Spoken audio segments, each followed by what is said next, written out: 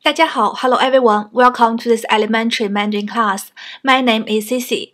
我是 Sisi today's lesson, we will talk about the aspect particle 过 A verb usually followed by the aspect particle 过 to indicate that an action has been experienced in the past, but it hasn't lasted to the present. The structure is subject, verb, 过 object. In this expression, what we need to note is 过 is used to talk about whether something has ever happened. So the verb has been done at least once before. But you don't need to specify a particular time. 他们来过我家。他们来过我家。我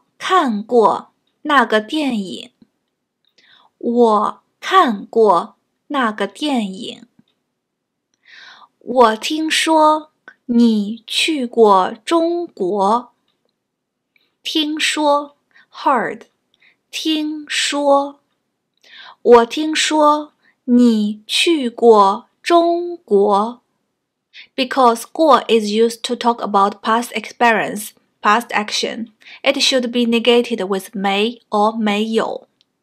The negative structure is subject 没 or 没有 verb 过 object 我没有想过这个问题。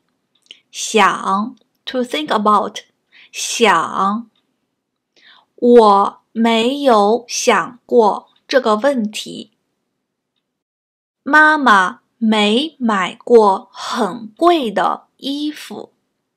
妈妈没买过很贵的衣服。我妻子没坐过飞机。妻子，wife，妻子。我妻子没坐过飞机。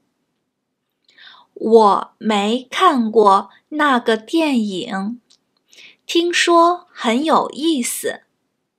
有意思，interesting，有意思。我没看过那个电影，听说很有意思。我很喜欢中国文化，但是我没去过中国。但是，but，但是，我很喜欢中国文化，但是我没去过中国。The conjunctions 虽然但是 connect two clauses, forming a complete sentence indicating an adversative relation. 虽然我学过中文，但是。 不会写汉字。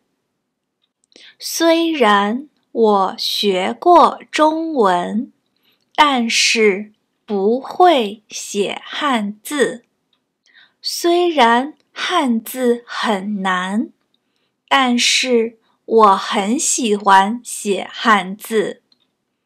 难，difficult，难。虽然汉字很难。但是我很喜欢写汉字。虽然我去过日本，但是我还想再去玩儿。日本，Japan，日本，还，still，还，在，again，在。虽然。我去过日本，但是我还想再去玩。Please note, 在 is an adverb.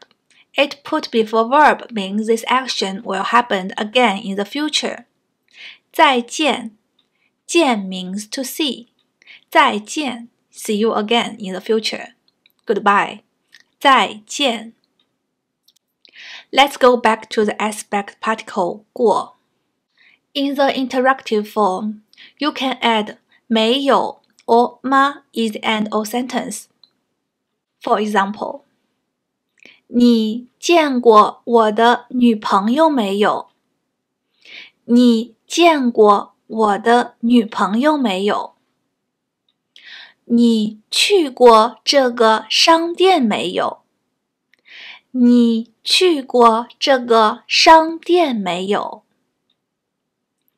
你在这个商店买过东西没有？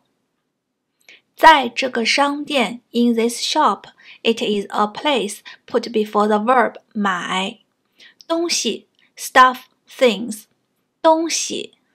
你在这个商店买过东西没有？Have you ever bought anything from this store？你在这个商店买过东西没有？ 你在中国坐过火车吗？火车。train 火车，你在中国坐过火车吗？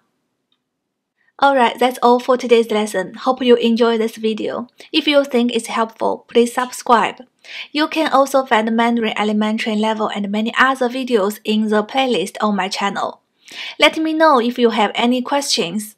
我是 Cici 老师，See you soon in next lesson. 谢谢，再见，拜拜。